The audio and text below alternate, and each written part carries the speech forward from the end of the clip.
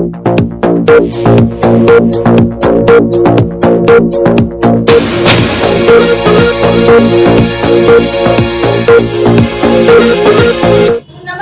मी पूजा. गोपीचंद पडळकर माझा मुलगाच असे सांगलीत झालेल्या भाजप मेळाव्यात चंद्रकांत दादा पाटील यांचं वक्तव्य. पाहूया हालबोट आज सांगली येथे भाजपच्या वतीनं धनगर समाज मेळाव्याचं आयोजन करण्यात आलेलं होतं.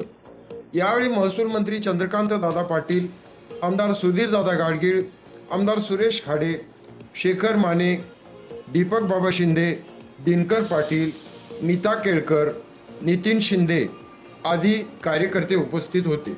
दरम्यान यावेळी चंद्रकांत दादा पाटील यांनी भाजप पक्ष हा जातीयवादी नाही तर या पक्षात सर्व धर्म संभाव पाळला जातो असं सांगत सांगली महापालिकेत एकूण नऊ नगरसेवक धनगर या समाजाचे आहेत असं सांगितलं.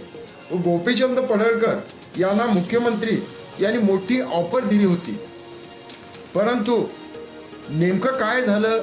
नंतर गोपीचंद पडळकर यांना समजलंच नाही असे चंद्रकांत दादा पाटील यांनी यावेळी सांगितलं. त्याचबरोबर धनगर समाजाला लवकरच आरक्षण देण्यात येईल असंही त्यांनी सांगितलं. व जास्तीत जास्त धनगर समाजाने कोणाला मतं द्यायचा हा विचार करावा असंही चंद्रकांत दादा पाटील यांनी सांगितलेलं आहे. तिथलं कधी उघडत नाही. परंतु वेळ अशी आली की माझी मूठ मला ओढावी लागेल. आपण गोपीचंद पडळकर तो तर माझ्या घरातला मुलगा. त्याला विचारा. रात्री दोन वाजेवर मॅडम असतो. त्याला मुख्यमंत्र्यांनी काय प्रस्ताव दिला होता जरा विचारा.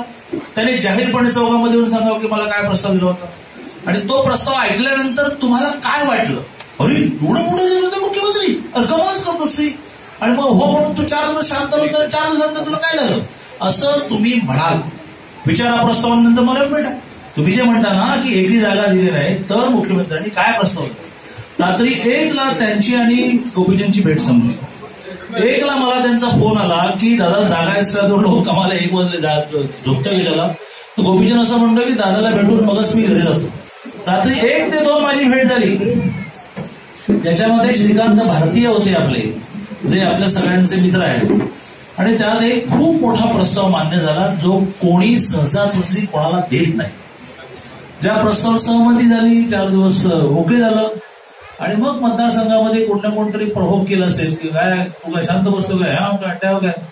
हे बघा समाजकारणामध्ये जो शांतपणे विचार करतो तोच यशस्वी होतो. त्यामुळे माझं म्हणजे गोपीचंद म्हणजे त्याच्या घरी अनेक वेळेला मी जेवायला you know it very well त्यामुळे असं काही नाही की ह्या मतदान ह्या वेळेला आपण सीटच दिली नाही धनगर समाजाला.